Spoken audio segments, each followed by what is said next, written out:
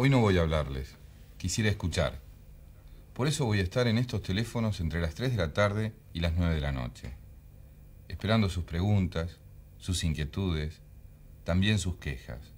Llámeme.